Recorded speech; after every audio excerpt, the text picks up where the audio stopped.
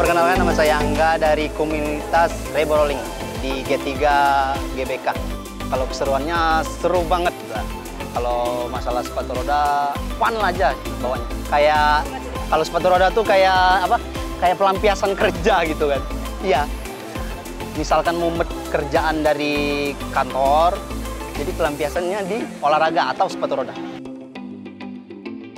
Sebenarnya lama nggak lamanya, tergantung konsistennya mainnya, latihannya. Kalau untuk pemula paling balancing aja, belum bisa balance-nya. Tapi kalau untuk tantangan lebih dari sepeda, lebih dari motor, lebih dari mobil. Itu tergantung jam terbang.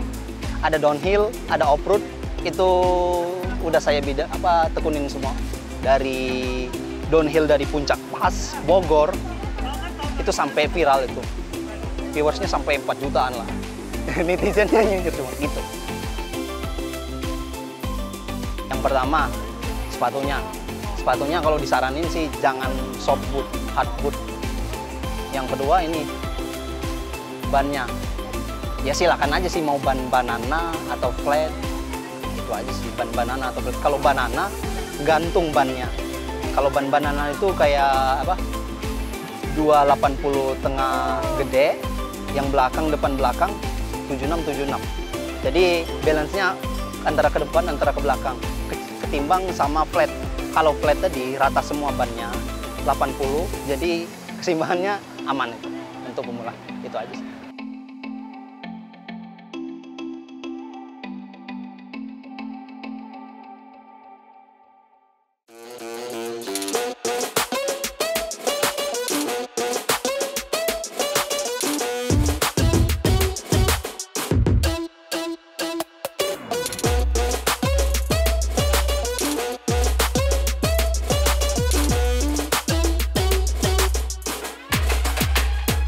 Zaki dari komunitas Depok, Depok Inline Skate. Jadi kita biasanya namanya De Demliner, itu singkatan dari Depok Amateur Inline Skate.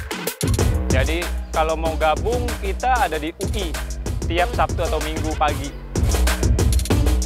Wah, range-nya sih banyak sih, ada yang masih bocah ya, dari anak kecil itu lima tahun ada, terus sampai ada umur 70 juga ada.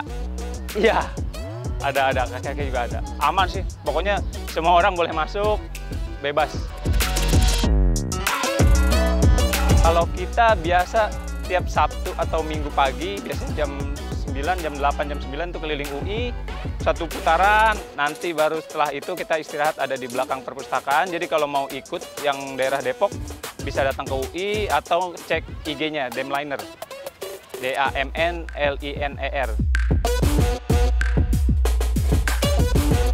awal sih seru ya karena kalau inline skate tuh harusnya menurut saya harusnya bareng-bareng ya. Kalau sendiri bingung mau ngapain ini nggak ada temen. Nah kalau rame-rame sih enak. Kalau dilihat nih kalau ini sepatu biasanya untuk pemula ya. Dia mainnya empat roda karena kalau pakai sepatu empat roda gini nih ini lebih stabil. Kalau untuk tiga roda seperti ini rodanya lebih besar ini untuk lebih jarak jauh sih karena lebih stabil dia.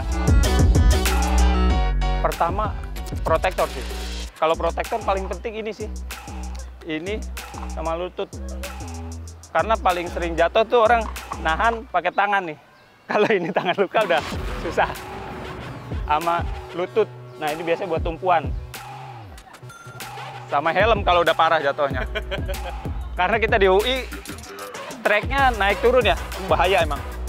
Kalau masih pemula biasanya masih masih main di tempat istirahat sih tempat trek lurus. Tapi kalau udah keliling UI sih udah lumayan bahaya karena treknya naik turun. Kalau pemula sih biasanya datang aja dulu. Kalau mau di Jakarta ada di GBK atau di Taman Menteng terus kalau di Depok ada di UI datang aja mau punya sepatu, mau nggak punya sepatu, mau tanya-tanya dulu boleh, tinggal datang aja.